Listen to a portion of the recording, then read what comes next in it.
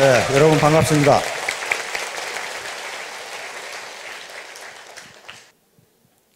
오늘 제가 제목으로 잡은 것은 1만 시간의 법칙이라고 하는 건데요. 요건 지금 음, 미국의 이 신경과학자인 데니엘 데니엘 레비틴이라고 하는 교수가 있습니다. 아, 한번 비춰보세요. 제 데니엘 레비틴 교수인데, 예, 네, 제 양반입니다. 데니엘 레비틴 교수가 지금 캐나다 이 맥길 대학의 신경과학 교수이자 심리학 교수이고 음악 이론 교수이자 컴퓨터과학 교수 그리고 교육학 교수로 있는 분입니다. 좀 묘한 사람은 묘한 사람이에요, 조금. 이 사람은 원래 음악, 음악가이기 때문에, 아, 음악학자입니다. 그러면서 신경과학의 세계 최고의 권위자이신데, 이 양반이 이 독일 베를린, 베를린 음악원에서, 음악대학에서, 어, 다섯 살에 입학해 가지고 지금 21살이 된 이 음악 영재들을 조사를 했어요. 교수들에게 의뢰를 해서 이 학생들 중에 세계적인 음악가, 아주 탁월한 이 연주자하고 그냥 아, 저 정도면 뭐 잘하는 거지. 그 정도 우수하다고 판단된 사람하고 연습 시간을 조사해 봤더니 탁월한 연주를 하는 사람, 탁월한 음악가가 될 사람은 모두 연습을 1만 시간 이상 했더라는 겁니다. 그런데 우수하다고 그냥 우수한 정도다라고 판정을 받은 학생들은 연습을 8천 시간을 했더랍니다. 그러니까 그 연습 시간 2천 시간의 차이가 어떤 학생은 세계적인 연주가가 되고 어떤 학생은 그저 그런 연주가가 되고 그런 차이가 나더라는 겁니다. 그래서 이 레비틴 교수는 이게 도대체 무엇 때문에 그러는가? 그러면 음악가만 그러는가? 그래서 모든 분야에 그저 보통인 사람과 그 분야에 탁월한 사람들의 연습 시간을 모두 조사를 했어요. 농구 선수를 조사했어요. 그래서 농구 선수를 조사해 봤더니 역시 세계적인 농구 선수는 연습 시간이 만 시간 이상이더라는 거예요. 요, 요 배구 선수를 조사했고, 스케이트 선수를 조사했고, 피아니스트 조사하고, 그 다음에 심지어는 뭐까지 조사했냐면 도둑놈까지 조사했어요. 도둑질을 잘하는 놈과 못하는 놈은 연습 시간이 어느 정도인가. 근데 역시 세계적인 도둑놈은 도둑질 연습을 만 시간 이상 했더라는 거예요. 그래서 이분이 결론을 내렸습니다. 어떤 사람이건 그 IQ에 관계없이 초기에 일을 시작할 때의 능력에 관계없이 무조건 그 분야에서 성공하려면 만 시간 이상 연습하지 않으면 안 된다는 결론에 도달하였습니다. 그래서 많은 학자들이 벌떼처럼 달라들어가지고 과연 그런가를 연구해 봤더니 지금까지 학자들이 연구한 결과는 단 하나의 예외도 없다는 거예요. 단 하나의 예외도 없다. 적어도 본받을 만큼 성공한 사람들은 1만 시간 이상 훈련이나 연습을 하지 않은 사람이 단한 사람도 없다. 심지어는 도둑놈까지 똑같다. 가수도 그렇고 다 똑같다. 근데 이 1만 시간의 법칙이 세상에 크게 알려지게 된 건 말콤 그레드웰이라고 하는 사람이 있습니다. 말콤 그레드웰이라는 지금 뉴요커에 에, 거기서 기사를 썼고 지금은 이, 이 저술가로 있는데 이 양반이 있어서 아주 세계적인 베스트셀러가 된 Outlier라는 책이 있습니다. 우리나라 지금 시중에도 번역돼 나와 있어요. The Story of Success에서 성공 이야기. 이 사람이 쓴 이 책이 나옴으로써 지금까지 성공에 대한 관념이 완전히 바뀌었어요. 다시 말하면 지금까지는 성공하는 사람은 원래 타고날 때 유전자 자체가 다르다. 머리가 좋았다. 그랬는데 그렇지가 않더라는 거예요. 그렇지가 전혀 그렇지가 않더라는 거예요. 적어도 아무리 머리가 좋아도 1만 시간 이상 연습하지 않고는 1만 시간 이상 훈련하지 않고는 일정한 일정한 수준에 도달할 수 없다는 결론에 도달했어요. 그래서 이 사람이 몇 사람은 예를 들었습니다. 모차르트. 모차르트는 인류가 낳은 가장 위대한 음악자라고 그러죠. 기록에 의하면 6살 때부터 작곡을 시작했다고 그러니까. 그러나 6살 때부터 작곡을 시작했는데 지금 음악학자들은 그것은 모차르트가 한 것이 아니고 모차르트 아버지가 했다고 믿고 있습니다. 그리고 모차르트가 실제로 작곡을 시작한 것은 11살 때 시작했어요. 피아노 협주곡을 작곡을 시작했는데 그때 작곡한 것은 별것도 아니에요. 그런데 10년 후인 21살 때 작곡한 피아노, 작곡한 피아노 협주곡부터 드디어 명곡이 되기 시작합니다. 다시 말하면 10년간 죽어라고 했다는 거예요. 10년간. 10년간. 하루에 3시간, 10년간 하면 만 시간이 돼요. 음. 두 번째로 예를 든게 빌 조이라고 하는 사람이 있습니다. 빌 조이 하면 사진 한번 비춰요. 빌 조이. 어, 빌 조이인데요. 빌 조이는 잘 모르실지 모르겠는데 Sun Micro System이라는 회사가 있어요. 우리나라에 들어와 있죠? Sun Micro System. 그 워크스테이션을 세계적으로 독점하고 있는 이 회사이고 이 인터넷에서 자바 프로그램을 개발한 사람입니다. 지금도 쓰고 있죠. 30년 전에 개발했는데 이 양반은 수학 천재입니다. 대학 우리 같으면 SAT니까 우리 같은 대학 예비고사 수능 시험이죠. 수능 시험 수학에 만점을 맞았으니까. 그러면 이 사람이 만점을 맞았, 맞았 으니까 그런 이 컴퓨터 천재가 되느냐? 천만의 말씀이에요. 자기 증언에 의하면 71년 대학에 들어가서 무려 5년간을 하루에 3시간밖에 안 했어요. 뭐 했느냐? 자판 위에서 엎드려 자면서 컴퓨터 프로그램을 했습니다. 그게 1만 시간이 넘어요. 자기 입으로 내가 그 프로그램을 연습한 게 1만 시간이 넘는다. 이렇게 이야기를 했어요. 그래 지금 세계적인 썬마이크로 시스템이라는 회사를 만든 사람이에요. 세계적인 프로그래머가 됐고 인터넷에서는 오히려 마이크로소프트보다 더 언어로서는 낮게 보는 사람입니다. 그 다음에 또 말, 말, 그, 저, 이 말콤 그 글래드웰이 든 사람 중에 역시 누가 나와요? 비틀즈가 나와요. 비틀즈. 비틀즈 아시죠? 1960년대 음악뿐만 아니라 세계 사회와 문화를 완전히 뒤집어 놓은 비틀즈. 비틀즈는 영국의 리버풀이라고 하는 작은 도시에서 결성된 그게 저 밴드 마스터들입니다. 보컬 사운드란 말이에요. 네 명이 했죠. 존 레논, 어, 그 다음에 조지 해리슨, 어, 그 다음에 폴 맥카트니, 그리고 링고 스타 네 사람이죠. 이 사람들이 이렇게 세계를 뒤집어 버린 것은 음악 천재여서가 아니고 물론 음악에 자질이 있죠. 존 레논 같은 사람은 독일 함부르크에 가가지고 무려 4년 동안 하루에 8시간씩 연주를 한 거예요. 남들이 놀고 있을 때. 그래 가지고, 그래 가지고 그런 세계를 뒤집어 버리는 음악이 나온 거예요. 그 다음에 빌 게이츠 예를 또 들고 있어요. 말끔 그래도. 빌 게이츠는 뭐 마이크로소프트는 모르는 사람이 없을 거예요. 빌 게이츠 그 친구는 하버드 대학 2년을 중퇴한 사람이거든요. 그러니까 아 대학 가다 중퇴하면 성공하는가 보다. 천만의 말씀. 그렇게 되는 게 아니에요. 중학교 2학년 때부터 무려 5년을 컴퓨터 프로그램을 했어요. 완전히 거기 빠져가지고 그것만 했어요. 그래서 남들이 컴퓨터라는 게 뭔지를 모르는 시기에 무려 1만 시간 이상의 프로그램을 한 거예요. 그래가지고 하버드 대학을 다닐 필요가 없어진 거예요. 그 분야에 세계 최고가 돼버리니까. 이와 같이 말콤 그레드웰은 여러 가지 사례를 들면서 그 머리가 아무리 좋아도 1만 시간 이상을 연습하지 않으면 그 누구도 성공할 수 없다. 그래서 많은 학자들이 이제 데니얼 레비틴 교수에게 질문을 했습니다. 질문을 해. 어떤 질문을 했냐면요. 그러면 모든 사람이 1만 시간을 연습하면 다 천재가 되느냐? 데니얼 교수의 대답은 no, 그렇지 않다. 모든 사람이 1만 시간을 연습한다고 해서 천재가 되는 건 아니지만 그러나 세계적으로 성공한 사람 중에 1만 시간 이상 연습하지 않은 사람은 단 한 사람도 없다. 알겠죠? 단 한 사람도 없다. 이게, 이게 얼마나 공평합니까? 만약에 IQ가 높은 사람은 조금 덜 해도 되고 IQ가 낮은 사람은 조금 더 해야 되고, 어, 좀 몸이 건강한 사람은 조금 덜 해도 되고 그렇다면은 아마 탓할 때가 많을 거예요. 아이고, 우리 부모가 나를 이렇게 나눠가지고 결국 안 되는구만. 그런데 지금까지 신경과 뇌신경과학자들의 연구에 의하면 머리 IQ에 관계없이 어느 누구도 세계적인 명성을 얻을, 다시 말하면 해당 분야의 전문가, 존경받을 만한 전문가가 되는 데는 1만 시간 이상 투입하지 않으면 안 된다. 이렇게 되죠. 안 된다.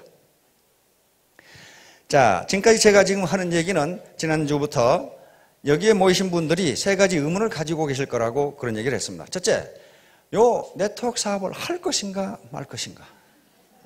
두 번째, 만약에 한다고 결심하면 어떻게 할 것인가. 세 번째는 나 같은 사람도 성공할 수 있을 것인가? 요 세 가지 문제예요. 그래서 할 것인가 말 것인가에 대해서 지난주에 말씀을 드렸습니다. 즉, 할 것인가 말 것인가. 요 모든 성공의 가장 중요한 3대 요소는 차가운 머리, 자신만 냉철한 이성이라고 그랬습니다. 올바른 판단력, 그리고 따뜻한 가슴, 그리고 부지런한 손발. 요 세 개가 있지 않으면 절대로 되질 않아요. 우선 할 것인가 말 것인가를 결정해야 되는데 차가운 머리, 냉철한 이성으로 분석해 봐야 됩니다. 첫째가 이 회사가 합법적인가? 어, 합법적인가? 물론 회사라는 이름의 간판을 걸었으면 합법적입니다. 그러나 겉으로는 합법적이지만 속으로 불법을 행하는 회사들이 비일비재합니다. 그런 걸 보셔야 된다. 냉철한 머리로 판단해 보셔야 된다. 두 번째는 경영자의 도덕성과 경영 능력이에요. 도덕성이 무지무지하게 중요합니다. 도덕성이 또 아무리 좋아도 경영 능력이 형편없으면 그건 비전이 없어요. 그래서 그걸 판단해 보셔야 됩니다. 세 번째는 제품의 질과 가격입니다. 제품의 질이 좋고 가격이 적정한 것이냐를 따져봐야 돼요. 제품의 질이 좋고 가격이 비싼 것은 시중에 얼마든지 있어요. 소위 명품이라는 것들이 다 그런 것들이에요. 음.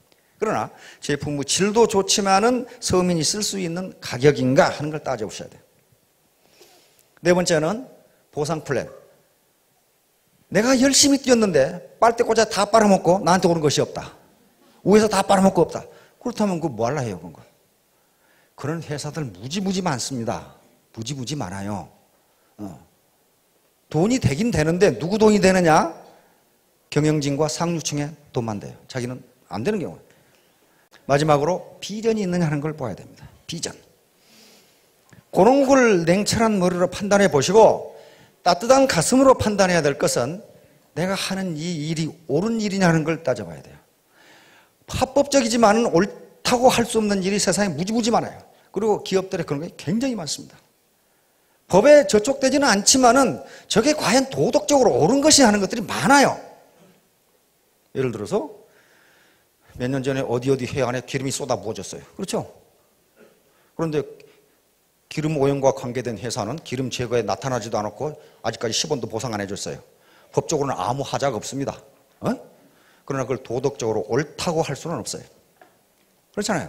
그런 일들이 비일비재예요. 그러니까 과연 내가 지금 이 하는 일이 요 제품 좋고 가격 좋은데 요걸 과연 내 친구나 누구에게 전달하는 것이 옳은 일인가? 그 다음에 따뜻한 마음으로 판단해야 될 게, 판 단해야 될 게 두 번째는 보람 있는 일인가? 보람이 없으면 아무 일도 못 합니다. 음, 보람에 대해서는 시간 있으면 또 다시 한번 언젠가 이야기할 텐데요. 보람 있는 일인가? 기적의 사명 선언문이라는 책이 몇 년 전에 우리 사회에서 베스트셀러가 된 적이 있습니다. 한 사학가가 쓴 건데요. 로라 베스라고 하는 사학가가 쓴데 거기에 우리나라 송영근이라는 분이 번역을 했는데 그 서문에 이런 얘기가 있습니다. 중세 어떤 신부가 길을 지나가는데 세 명 석공이 돌을 쪼고 있어요. 그래서 이 신부님이 한 석공에 물었습니다. 당신은 지금 뭘 하고 있습니까? 그러니까 이 석공이 대답하는 게 보면 모르셔. 돌 쪼고 있지 않소. 두 번째 석공에게 또 물었습니다. 뭘 하고 계십니까? 목구멍이 포도청이라 돌 쪼고 있지 않소. 세 번째 석공에게 또 물었습니다. 뭘 하고 계십니까? 아, 아름다운 성전을 지을 주춧돌을 제가 만들고 있습니다. 이렇게 대답했단 말이에요. 그러면 돌을 쪼고 있다는 행위는 똑같은데 첫 번째, 범은 모르죠. 돌 쪼고 있지 않소. 그러면 이놈은 지가 지금 뭘 하고 있는지를 모르는 거예요. 뭐 때문에 돌을 쪼고 있는지 전혀 모르는 거죠. 두 번째 석공은 목구멍이 포도청이니까 하는 수 없이 한단 말이에요. 세 번째 석공은 돌을 쪼는 하찮은 일이지만은 자기가 쪼는 이 돌이 거대한 성전에 아름다운 성전에 추춧돌이 된다는 것을 하고 있으니 생각하고 있으니 누가 누가 돌을 아름답게 그리고 빨리 잘 쪼개나 그 말이에요. 다시 말하면 보람인 이 일이 보람 있다고 생각해야 뭔가 잘 되는 거지. 돈 위해 산다든가 하는 수 없이 한다든가 내가 지금 뭘 하고 있는지 모르고 한다든가 북한에 물 뿌리는 놈처럼 그래가지고는 잘 되지 않는다 그런 말이에요. 그래서 과연 이 보람 있는 일인가를 생각해 보셔야 합니다. 오늘 말씀드리려고 하는 것은 바로 두 번째 어떻게 할 것인가 하는 거예요. 어떻게 할 것인가. 바로 1만 시간의 법칙이라는 게 반드시 필요하다. 반드시 필요하다. 왜 1만 시간이라는 게 필요하냐? 왜 1만 시간이라는 게 필요하냐? 뭔가를 극복하는데 그 정도 시간이 필요하다. 뭔가를 극복하는데. 그런데 와, 1만 시간이 어떤 시간인가 생각해 보면 하루에 3시간씩에서 3년이 걸리는 시간이고 하루에 6시간씩 하면 5년이 걸리는 시간입니다. 바로 빌 게츠나 아까 빌 조이라든가 비틀즈라든가 하는 사람들은 비틀즈는 자기 증언에 의하면 하루에 8시간씩 연주를 했다고 그래요. 그래서 4년을 했어요. 그러니까 세계적인 음악가 되어버렸어요. 빌 조이와 이, 이 빌 게이츠도 증언에, 자기들 증언에 하는 5년간을 그렇게 했어요.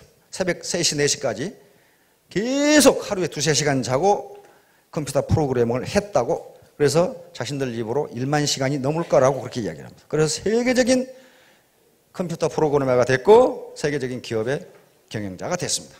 음. 그걸 더 열심히 한다면 예를 들면 하루에 10시간씩을 투입한다면 3년이 걸리는 시간입니다. 아까 여기 있었던 리더들이 대, 전부 다 3년 만에 올라온 사람입니다. 밤낮 없이 뛴 사람들이. 밤낮 없이. 음. 자, 그래서요. 1만 시간의 법칙은 자연의 법칙과 거의 같습니다. 레비틴 교수에게 물었어요. 어째서 1만 시간이냐? 하필이면 왜 1만 시간이냐? 그러니까 레비틴 교수가 대답하기를 이 사람은 신경과학자입니다.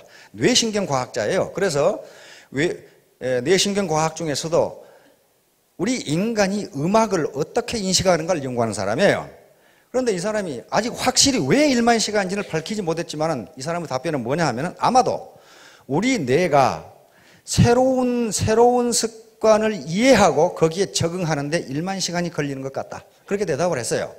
그러니까 1만 시간 만에 뇌가 그것을 인식을 하는데 8천 시간 연습한 사람은 안 되더라는 거예요. 뇌가 그걸 인식하지 못한다는 거예요. 음. 자, 그래서 왜 우리에게 특히 네트워크 사업에서 1만 시간이 필요한가? 그런 얘기입니다, 지금. 자, 임계량이라는 게 있습니다. 자연 법칙에 임계량이라는 게 있어요. 임계량. 임계량은 그 임계량을 기준으로 임계량이 미치기 전의 양에서 일어나는 물리 현상과 임계량을 벗어났을 때 일어나는 물리 현상이 서로 다른 것을 이야기합니다. 그러니까 일반적으로 자연계에서 어떤 현상이 나타나는 데는 반드시 어떤 일정량을 넘어야 그 현상이 나타나지 그 전에는 전혀 나타나지 않는다. 자연현상에 이런 것이 있듯이 인간세에도 똑같이 있어요. 이게 창조의 법칙이니까 그렇단 말이에요. 똑같이 있어요. 우리가 어떤 노력을 할 때요, 일정 시간 이상 연습하지 않으면 한 단계를 올라가지 못해요. 그러면 이게 필요 없느냐? 그렇지가 않다는 거예요. 보통은, 보통은 어떤 성과가 나타나지 않으면 거기서 중단해 버리니까 성과가 없는 거예요. 예를 들면, 물통에 물을 붓는다고 합시다. 계속 물통에 불을 붓는데 물이 넘치지가 않아요. 그러나 어떤 한 방울에 물이 넘칩니다. 그게 임계량이에요. 그러면 그때가 앞에 그 부은 물이 필요 없느냐? 그렇지가 않다 이거예요. 그렇지가 않아요. 그게 있었기 때문에 결국 차가지고 어떤 순간에 물이 넘치게 되는 거예요. 인간에게 효과가 나타나는 것도 그 자연 법칙이 그대로 적용된다는 겁니다. 우리 저 누구지? 그 저 스케이팅 하는 김연아. 책에 보니까 요 뺑 도는 걸 만 번 연습했답니다. 아무것도 아닐 것 같은데 나는 두 번만 연습하면 되겠더만은 만 번을 연습했다. 만 번. 그런데 만 번 중에 3천 번을 넘어졌답니다. 3천 번을 넘었다. 그래서 세계 챔피언이 된 거예요. 모든 사람이 다 그랬어요. 에디슨 같이 발명왕 어떻습니까? 인류 역사상 가장 많은 발명한 사람이에요. 천, 천, 천 39가지인가 했죠. 음, 특허와 발명이. 그런데 뭐라고 그랬어요?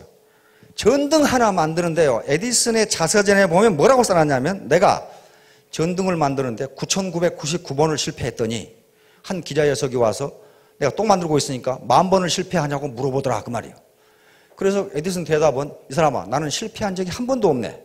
불이 안 켜지는 방법을 9,999가지나 알아냈네. 어, 그러더라고요. 근데 에디슨도 자기가 몇 번 실패한지를 잘 모르는가 봐요. 다른 사람이 쓴 에디슨 전기원은 3,000번을 실패했다고 나와요. 여러분 생각해 보세요. 백열 전구 만드는데 3,000번을 실패했는데 계속 했다. 그게 머리가 좋은 사람입니까? 별로 안 좋아요. 초등학교 3개월 다녔죠? 음. 그런데 사명감을 가지고 그렇게 했어요. 에디슨의 모든 말은 그렇게 돼 있어요. 그 다음에 뭐, 뭐라고 돼 있느냐? 천재는 1%의 영광과 99%의 노력이다. 천재란 단순히 자기가 맡은 일을 끝까지 해내는 인내심을 가진 사람이다. 이렇게 돼 있어요. 자기가 그렇게 했거든요. 그리고 내가 만든 모든 발명품은 우연히 된 것이라고는 하나도 없다. 내가 땀을 썼고 그 다음에 연구를 해서 나온 것이다. 얼마 전에 우리 저 아침형 인간이라는 책이 베스트셀러가 됐어요. 일본인 의사가 쓴 겁니다. 일본인 의사가 쓴 건데요. 아침형 인간. 그 책에서도 그 의사는 뭐라고 하느냐면요. 전부 지금 젊은이들인가 모든 사람들이 올빼미형 인간이 돼 있대요. 아침에 늦게 일어나고 밤새도록 돌아다니는. 그런데 이 습관을 밤 11시에 자고 아침 5시에 일어나는 습관이 아침형 인간인데 요게 정착되는데 적어도 100일은 꾸준히 하지 않으면 그게 안 된다는 겁니다. 어, 그 의사 얘기예요, 의사가. 의사 얘기예요. 100일은 해야 그게 된대요. 음. 심지어는요, 대관령에서 명태 가지고 황태 만드는데도 100일은 해야 된답니다. 어, 그 자료를 조사해 보니까 그게 20번을 얼었다 녹아야 된다는데요. 20번을 얼었다 녹았다 하고 바람이 불어야 되고 그런데 그게 약 100일 걸린답니다. 그, 렇지 않고서는 맛있는 황태가 안 된대요. 음. 100일이라는 의미가 그런 의미를 가지고 있습니다. 그 다음에 더욱더 과학적인 것은요. 우리 몸의 세포가 60조 개라고 그러는데 그건 누가 세봤는지는 잘 모르겠어요. 하여간 무지하게 많아요. 근데 하루에 수백억 개가 죽고 수백억 개가 새로 생겨난답니다. 그러면 예를 들어 500억 개가 죽는다. 그러면 우리 몸이 새로운 세포로 완전히 바꿔지는데 얼마 걸려요? 100일이 걸립니다. 100일이 걸려요. 그래서 아들 군대 갈 때 아이고 이 자식 잘 갔다 오라 이렇게 아는 분은 100일 후에 휴가 나오면 그 몸뚱이는 다른 몸뚱이에요. 전혀 처음에 안 왔던 몸뚱이는 전혀 아니에요. 음. 자, 이와 같이 우리가 100일간 뭔가를 꾸준하게 지속하면은 우리 뇌세포, 그리고 우리 세포가 아, 이게 정상적인 상태라고 인식을 한다는 거예요. 음. 그래서 습관이 바뀌어지는 거예요. 그래서 100일간의 몰입, 100일간의 정진이 가장 중요합니다. 그런데 네트워크 사업에서는 100일이 더욱 중요해요. 굉장히 중요한 게요. 왜 그러냐면요. 네트워크 사업에는 다른 사업하고는 달리 무지무지하게 극복하기 어려운 점들이 있어요. 그것은 100일간 정진하지 않고서는 도저히 극복이 안 돼요. 그런 문제가 뭐가 있을까요? 첫째, 체면과 자존심이에요. 내가 어떻게 살아왔는데. 특히 정서, 이성보다는 감성이 앞서는 한국인에게 있어서 체면과 자존심이라고 하는 문제를 극복한다는 게 쉬운 일이 아니에요.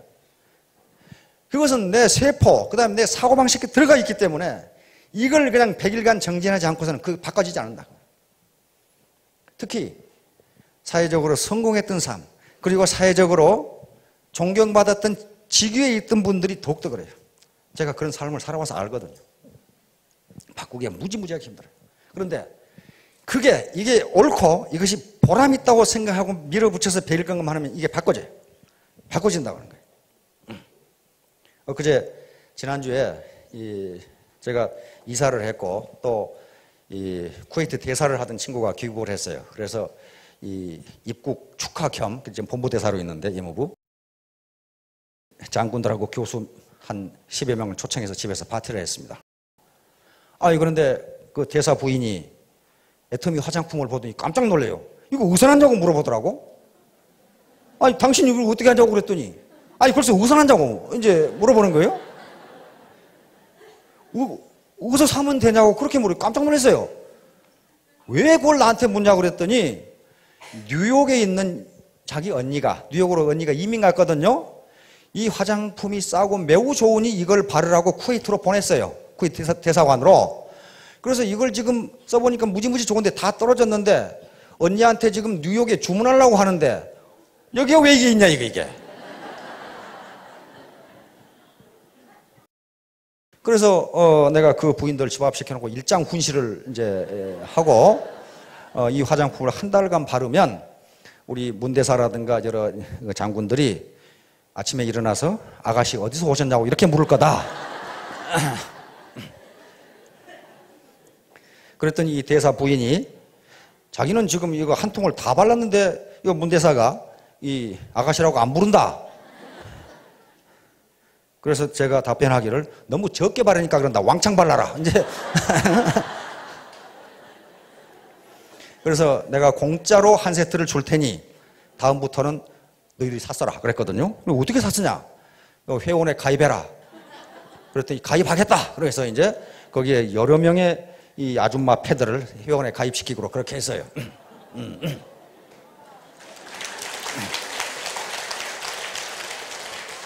이렇게 이렇게 자기가 체험을 해 보면 지금까지 가졌던 부정적인 인식을 바꿀 수가 있는데 그걸 적어도 100일 동안을 해야 된다. 100일 동안. 그다음에 뭐 하는데 100일이 걸리냐면요. 이놈 계급장 떼는데 100일이 걸려요. 계급장을 여러 개 달고 있거든요. 저도 여러 개 달고 있었어요. 에? 육사 졸업했지. 서울대학 졸업했지. 사관학교 교수였지. 미국에 유학 갔다 왔지. 박사학위 받았지. 육군 대령이었지. 그러니까 계급장 여러 개 붙어 있어. 이걸 떼기가 무지무지 어려요. 지금 이 중에도 저보다 훌륭한 사람들이 무지무지 많아요. 공학 박사도 있고 심리학 박사, 정형학 박사, 경영학 박사, 어? 그다음 회사 회장했던 분, 사장했던 분 많습니다. 수백억 수주를 받아서 일했던 분 많아요. 그런데 그 양반들 열심히 하시는 거 보면은 계급장을 완전히 뗐어요. 근데 지금도 계급장 붙이고 있는 사람이 죄다 많아, 굉장히 많아요. 그럼 100일간 정진을 안 해서 그래요. 계급장 그 아무 필요 없어요. 자기만 그것이 계급장이라고 생각하지 다른 파트너는 뭐라고 생각합니까? 꼴에 진짜 육갑 떨고 있는 그런 식으로 전연 인식을 하잖아요. 전연 그게 공주병하고 왕자병이에요. 공주병과 왕자병에 왕자병이 들었다는 것은요 공주와 왕자가 아니란 걸 의미합니다. 진짜 공주와 진짜 왕자는 그런 병에 걸리질 않아요. 그렇잖아요. 음. 그런 사람들은요 다른 사람을 우습게 봐요. 내가 누군데? 근데 공주병에 걸린 분들을 보면요.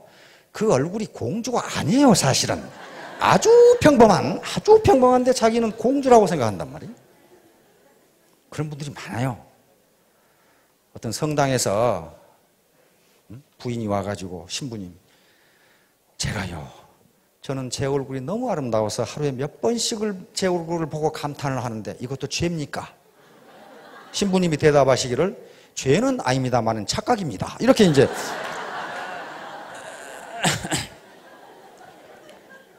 그걸 벗어나야 돼요. 그러면 다른 사람이 공주로 인정해 줍니다. 스스로 자기가 공주라고 생각하면 어? 팔불출이라고 생각해요. 그 계급장을 못 되는 거예요. 그게 100일간 겸손하게 낮아지면 떨어져요. 음. 따라서 100일간 정전을 해야 됩니다. 여러분 비행기 이륙할 때 보셨죠? 어떻게 합니까? 바로 뜹니까? 바로 뜨지 못합니다. 활주로를 상당한 거리의 활주로를 달려야 뜨는데 그 술술 걸어가 술술 굴러갑니까? 비행기가 뜰 때 가장 파워가 셉니다. 양력을 뜰 수 있는 양력을 받아야 되죠. 엄청나게 빠른 속도로 그냥 엔진 인으로 다가다요. 제일 시끄러워요. 그러니까 음. 그렇게 하지 않고서는요 비행기가 이륙할 수가 없어요. 그런데요 이륙 하기 직전까지 비행기는 하늘에 있는 게 아니고 어디 있어요? 땅에 있어요. 아무런 성과도 없어요. 예를 들어 활주로가 4km다. 근데 3.9km 날아갔다. 달려갔다. 아 이거 안 뜨네. 멈췄다. 그건 땅에 있는 거예요. 어. 바로 임계, 임계 거리를 날아가지 않으면 뜰 수 있는 양력을 받을 수가 없어요. 양력을 받을 수가 없어요. 그래서 반드시 거기를 가야 되는데 학자들이 얘기하기는 대부분의 사람들이 4km를 전력으로 질주하면 뜰 수가 있는데 통상은 3km에서 끝난다는 거예요. 아이고 안 되네. 어, 안 되네. 통상 그래서 에디슨이 이야기한 것처럼 성공한다는 것은 천재라고 하는 것은 자기가 한 일을 끝까지 해내는 사람이다. 이렇게 얘기하는 사람. 그러니까 그 사람이 세계 최고의 발명가가 된 겁니다. 그러면 비행기가 이륙합니다. 테이크오프 하죠. 테이크오프 하는데요. 4km에서 떴다. 그럼 수직으로 올라갑니까? 천만에 말씀. 그렇지 않아요. 비스팀이 올라갑니다. 그렇죠? 비스팀이 올라가는데요. 비스팀이 올라갈 때도 엔진 소리가 어떻습니까? 무지무지 시끄러워요. 이게 쉽지가 않다는 거예요. 이게 올라가는데. 올라가면, 올라가는 거 계기판 앞에, 좌석 앞에 요, 요, 요 고도 나오죠? 보세요. 이렇게 올라가다 또 이렇게 가요. 그렇죠? 이렇게 가다 이렇게. 그러다가 어떻습니까? 난규류 만나면 막 비행기가 요동을 치죠? 그럼 또 한참 가다가 또 올라가요. 그래서 약 10km 또 11km 올라가면 어떻게 됩니까? 구름을 벗어나서 태양이 보입니다. 그렇죠? 태양이 보입니다. 그래서 일정 고도를 잡으면은 아주 비행기가 조용해지면서 그때부터 승무원들도 자리에서 일어나서 서비스를 시작합니다. 그 전에는 다 의자에 저 안전벨트 메고 앉아 있죠. 자, 그게 필요해요. 그러니까 여기서 이륙하는 거, 그냥 쏜살같이 달려서 이륙하는 것을 여러분들은 100일이라고 보시면 됩니다. 100일, 100일 정도예요. 이게 세포가 완전히 바뀌어질 때까지 내 체면과 작은 체면과 작은 자존심, 요걸 잠깐 뒤로 놔두고 더 큰 체면과 더 큰 자존심을 세울 수 있는 기회다. 어떤 학자가 얘기했더라고. 이 세상에는 돈보다 귀한 일이 너무너무 많다. 돈보다 귀한 일이 너무너무 많다. 그런데 불행한 것은 그 일을 하는데 죄다 돈이 든다는 것이다. 안 돼요. 어. 죄다 돈이 들어요. 돈보다 귀한 일이 무지무지 많은데 가난한 사람을 도와준다든가 그 다음에 치료 못하는 누구를 이렇게 치료비를 대준다든가 그게 돈보다 더 귀한 일이에요. 그런데 돈이 들어요 그게. 음. 그래서 더 큰 자존심 그런 것을 이룩하기 위해서는 작은 자존심을 내려놓지 않으면 그 쓸데없는 과거 계급장을 떼지 않으면 절대로 안 된다. 계급장을 안 뗀 사람들 지금 리더 중에도 몇 사람 있어요. 그래가지고 그 계급장을 안 뗀 리더가 있는 데는요, 지멋대로 하려고 그러니까 질이 멸렬해, 조직이. 자, 결론을 말씀드리도록 하겠습니다. 이 세상에 공짜는 전혀 없습니다. 공짜는 없어요. 공짜가 있다고 먹었다가는 어떻게 됩니까? 낚시에 걸려요. 반드시 낚시에 걸려요. 공짜를 절대 없습니다. 자기가 땀 흘린 것만큼 얻을 수 있어요. 그건 레비틴 박사가 1만 시간의 법칙으로 이야기를 했습니다. 그리고 일단, 일단 이륙하는 데는 100일간 정진이 필요합니다. 음. 거기에 소비자 집단을 구축을 해야 되고, 자기의 계급장을 떼야 되고, 자기의 자존심이나 체면, 이 작은 것을, 이, 이, 잠깐 뒤로 밀려드는 거예요. 그걸 자기가 체면이라는 게 자존심을 손상하라 그런 게 아니고, 손상됩니다. 참 별이 별 참 살다가 별꼴 다 본 적이 있어요. 그 작은 걸 희생하지 않으면 안 됩니다. 따라서 공짜는 없다. 그리고 신은 새를 위해서 벌레를 만들었지만은 벌레를 둥지에 넣어주지는 않습니다.